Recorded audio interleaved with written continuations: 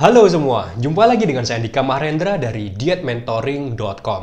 Dan di video kali ini saya akan berbagi 5 tips bagaimana mengecilkan perut buncit secara alami yang kalau Anda praktekkan, Anda sudah bisa mendapatkan hasil yang bagus hanya dalam waktu 30 hari. Dan itu semua bisa Anda lakukan tanpa menggunakan obat-obatan, tanpa menggunakan herbal, tanpa berolahraga berat, dan tanpa perlu melakukan diet yang menyiksa.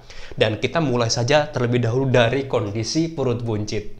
Pada saat Anda mengalami perut buncit, dan saya juga dulu juga mengalami, saya berpikir, dan Anda juga pasti berpikir bahwa lambung Anda akan membesar, lambung Anda akan mengembang. Padahal enggak. Lambung Anda masih lambung yang sama dan ukurannya juga lambung yang sama.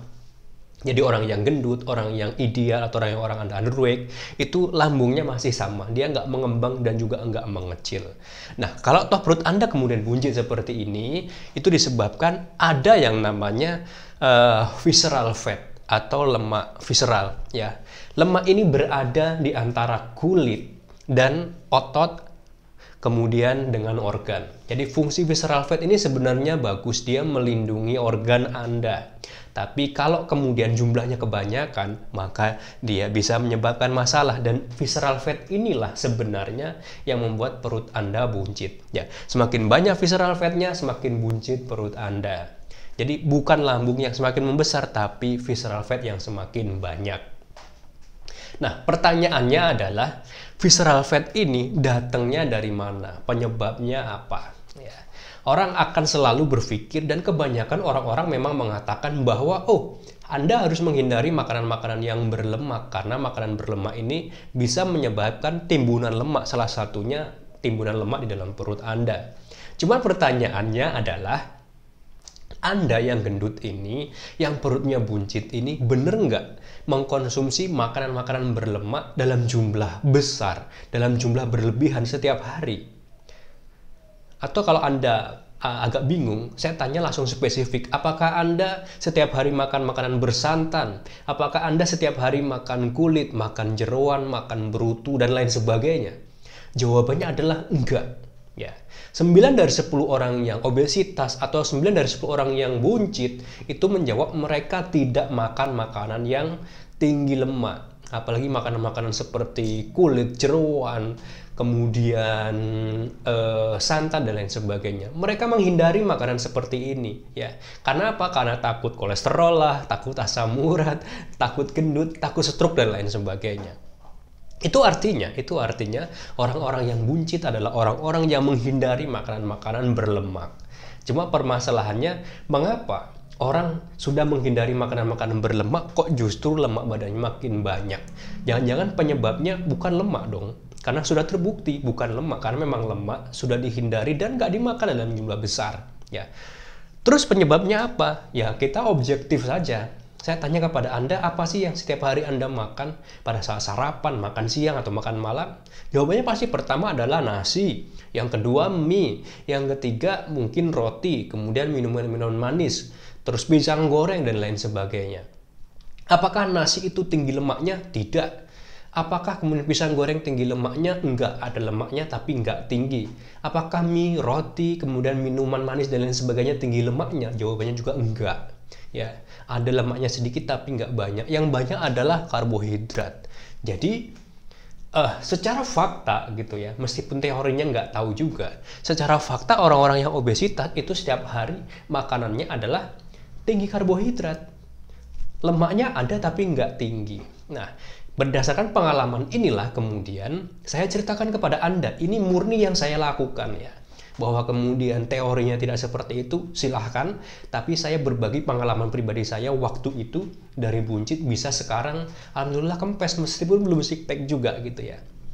Yang saya lakukan adalah lima hal. Pertama, karena menurut saya logisnya itu obesitas atau lemak-lemak ini datangnya dari karbohidrat, maka hal pertama yang saya lakukan adalah saya mengurangi karbohidrat. Ya, saya mengurangi semua jenis karbohidrat. Karbohidrat itu mulai dari apa aja? Mulai dari nasi, tepung-tepungan, terus gula, ya, gula pasir dan lain sebagainya. Itu semuanya karbohidrat. Jadi saya kemudian mengurangi nasi secara bertahap. Saya ingatkan ya, secara bertahap. Yang saya lakukan adalah misal, misal satu porsi makanan saya itu adalah 20 sendok makan nasi. Saya kurangi secara bertahap. Hari pertama saya hanya makan 17 sendok. Dan kemudian hari kedua saya makan 15. Kemudian hari ketiga saya makan 12 sendok. Besoknya lagi saya makan 9. Besoknya lagi saya makan 7. Besoknya lagi saya makan 5 sendok. Dilanjut dengan 3 sendok. Dan setelah itu saya bisa berhenti makan nasi. Jadi waktu itu saya membutuhkan 10. Eh 7 hari kalau nggak salah. Saya ingat banget saya setarnya untuk mengurangi itu tanggal 27 Juli. Ya, dan kemudian 1 Agustus 2016 saya sudah bisa berhenti nggak makan nasi. Begitu juga dengan karbo yang lain dari mie, dari roti dan lain sebagainya. Saya kurangi secara perlahan-lahan. Jadi nggak tiba-tiba setelah tahu, setelah sadar langsung berhenti enggak. Yang saya lakukan nggak seperti itu. Jadi saya juga berharap misalnya Anda setelah nonton video ini atau membaca versi artikelnya di blog saya di kamarendra.com terus tiba-tiba besok Anda nggak makan nasi gitu ya. Saya nggak nyarankan seperti itu. Saya sarankan kurangi secara perlahan. Ya, kurangilah 3 sendok atau 2 sendok setiap hari sampai kemudian Anda mampu berhenti. Langsung cara yang kedua, ya. Kalau kemudian Anda uh, berhenti atau mengurangi karbohidrat ya dilakukan di 10 hari pertama tadi maka di hari ke-11 idealnya Anda sudah nggak makan nasi itu. Anda bisa nggak makan nasi lagi. Nah pada saat Anda udah nggak makan nasi itu uh, yang saya lakukan dulu adalah saya akan menambah protein protein dan lemak ya. Jadi memperbanyak protein tapi lemaknya belum. Jadi di 10 hari pertama ini pada saat Anda mengurangi nasi, Anda bisa menambahkan protein. Proteinnya lebih banyak. Dan di hari ke-11 ketika nasinya sudah berhenti, Anda bisa menambahkan lemak. Ya, jadi lemak ini jangan dibarengkan dengan karbo. Ya. Karena kalau lemaknya banyak, karbonya banyak itu berbahaya. Jadi Anda harus pilih salah satu pada saat di hari ke-11 Ya, ini kan untuk hari 1 sampai 10 saya asumsikan di hari ke-11 sampai ini 20 ya. Hari 11 sampai hari ke-20 protein dan kemudian saya lemaknya diperbanyak. Dan uh, lemaknya diutamakan dari lemak hewani ya. Jadi contohnya uh, ikan, terus kemudian uh, ayam dan lain sebagainya. Untuk apa namanya brutu, jeroan dan lain sebagainya itu sifatnya uh, fleksibel, boleh Anda makan, kalau nggak dimakan juga nggak apa-apa ya. Masih banyak bagian-bagian hewan yang banyak lemaknya tapi dia nggak berbentuk gaji dan nggak harus jeroan ya. Penting uh, ikan itu lemaknya tinggi banget, kemudian ayam juga tinggi selain daerah dadanya dan lain sebagainya. Nah, intinya di hari 11 sampai 20 itu nasinya sudah stop ya. Tapi lebih banyak di menu hewani. Jadi menu hewani ini paling aman. Dan Anda boleh makan kapan saja. Kalau pagi-pagi Anda lapar, Anda boleh makan. Misalnya Anda makan telur, atau Anda goreng ikan, atau Anda makan daging di diasap, dibakar, dan lain sebagainya. Cara masaknya bebas. Yang penting nggak pakai tepung, nggak pakai gula gitu ya dimasak. Terus kemudian Anda juga bisa menggunakan lemak-lemak yang dari uh, nabati. Contohnya adalah uh, eh, ZO, terus kemudian alpukat, santan juga boleh. Lakukan ini di hari ke-11 sampai di hari ke-20 ya. Nah, nanti Anda akan merasakan sendiri bahwa makan makanan dari hewan itu cepet banget laparnya dan kenyangnya lebih lama dibanding kalau makan karbo ya. Karena itu, ketika Anda sudah bisa melewati ini di hari 10 sampai hari ke-20 gitu, maka Anda akan awet kenyang. Dan pada saat Anda sudah awet kenyang, maka saya sarankan kepada Anda di hari ke-21 sampai hari ke-30 anda belajar yang namanya fasting atau berpuasa. Ya. Puasa itu ada dua jenis. Saya menyebutnya ada puasa yang bersifat spiritual dan ada yang namanya puasa medis. secara spiritual itu ya tergantung dengan agamanya masing-masing. Kalau saya misalnya muslim, gitu berarti puasa spiritual saya adalah misalnya puasa Nabi Daud, puasa Senin Kamis, puasa Yaumil Bait pertengahan bulan, terus kemudian puasa Arafah, dan yang paling banyak dan sifatnya wajib itu adalah puasa bulan Ramadan. Jadi teknisnya sudah diatur oleh agama dan kita nggak boleh bereksplorasi ya. Kemudian ada puasa medis yang biasa disebut sebagai intermittent. Nah, kalau puasa intermittent itu berbeda dari puasa spiritual. Puasa intermittent itu kita di jam-jam tertentu masih boleh minum, boleh minum air mineral, kemudian boleh minum kopi, boleh minum teh selama tidak uh, menggunakan gula gitu ya. Dan virgin coconut oil juga itu boleh dikonsumsi di saat intermittent fasting. Intermittent fasting itu biasanya dilakukan dari jam 8 malam sampai jam 12 siang. Jadi sekitar 16 jam. Ya, selama jam 8 malam sampai jam 12 siang Anda tidak makan kalau Anda lapar, Anda boleh minum virgin coconut oil. Ini bagus banget ya. Jadi Anda nggak rasa lapar. Dan seharusnya Anda juga nggak gampang lapar karena sudah dilatih di hari 11 sampai 20. Kemudian Anda juga masih bisa minum kopi. Kopi ditambah VCO itu rasanya enak banget. Ya. Terus kemudian Anda juga bisa minum teh hijau, green tea di jam 8 malam sampai jam 12 siang gitu ya. Ini nggak masalah. Jadi Anda melakukan intermittent fasting. Ya, ini di hari 1 sampai 10, di hari 11 sampai 20, di hari ke-21 sampai hari 30. Jadi satu bulan.